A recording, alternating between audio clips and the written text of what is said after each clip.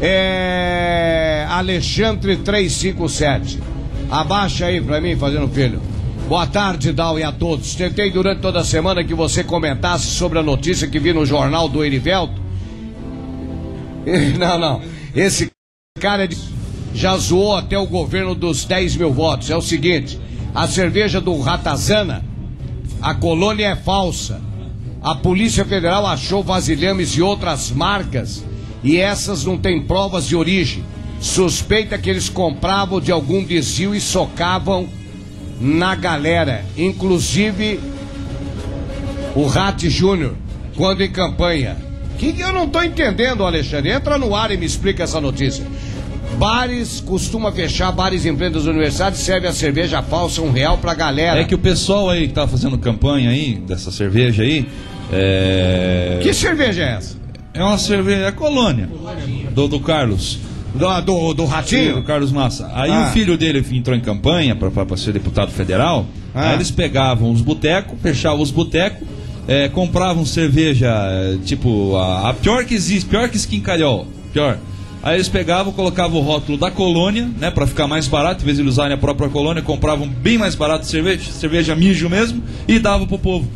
Você tá brincando? E eles enganavam o povo, aí divulgava o candidato e a marca colônia também. E ninguém denunciou isso pro Ministério Ah, Público? Não tem problema, Ah, vem aqui Brasil o Alexandre fantasia. 357, abaixa aqui, eu quero ver o que ele falou aqui. Alborguete, tentei durante toda a semana comentar sobre a notícia que vi no jornal do Erivelto. Mas o jornal do Erivelto falou, o da RPC? Olha, é o seguinte, ó, saiu no RPC. A cerveja do Ratinho, a colônia é falsa. A Polícia Federal achou vasilhames e outras marcas e essas não têm provas de origem. Suspeita que eles compravam de algum desvio e socavam na bunda dos caras, inclusive o filho Ratinho Júnior, quando em campanha.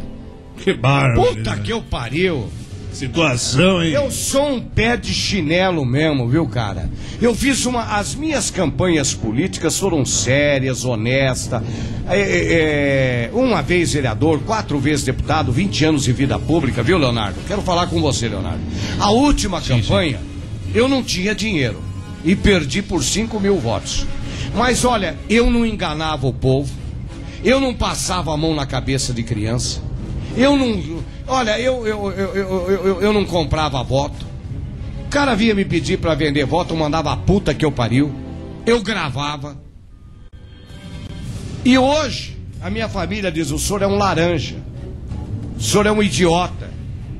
E eu tô chegando à conclusão que eu prefiro ser um idiota, mas que eu possa dormir à Dorme em noite paz, pelo menos. dormir à noite, botar a cabeça no travesseiro, do que ser um cara como o Ratinho, que a Justiça Federal está em cima dele por lavagem de dinheiro. Tá? E a Receita Federal também. Então, eu, eu, eu, eu, eu, eu, eu, eu, eu não tenho nada contra o seu Ratinho, foi meu empregado, a mulher dele foi funcionária do meu gabinete.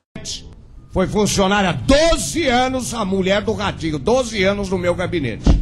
Quer prova? Eu tenho olerite. Tá?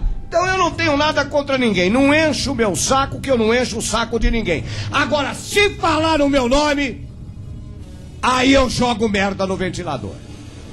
Vamos começar pelos caminhões, desmanche e um monte de coisa. Mas tem muita coisa. Achaque, banqueiros do jogo do bicho, o caralho, tá? Então não mexa com a minha vida, não. Me deixa quietinho.